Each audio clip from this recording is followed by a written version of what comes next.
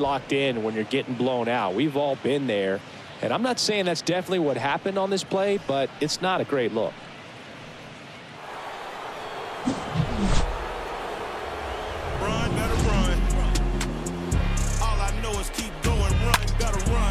And next for New York, Anthony Rizzo.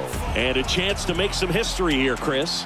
Yeah, he's homer three times so far, and now he gets another chance. At least we think. We'll see if the pitcher gives him anything to hit. It's so rare to see a three-homer performance, but even more special for that player to get another chance at the plate to do it again for four.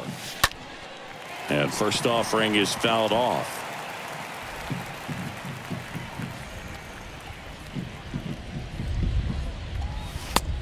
That misses off the outside edge. One out and a runner at second.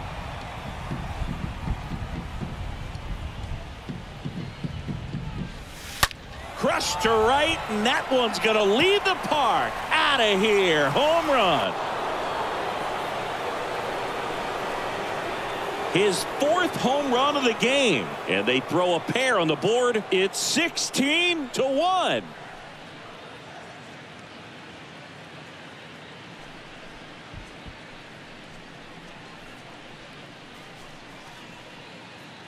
Wow, this is awesome. I mean, a four-homer game, they're just so rare. They're so special and just so tough to pull off as well. Everything has to line up for you, but of course, you got to make it happen too. And these are the types of performances that people just don't forget, and it's definitely going to live on in history.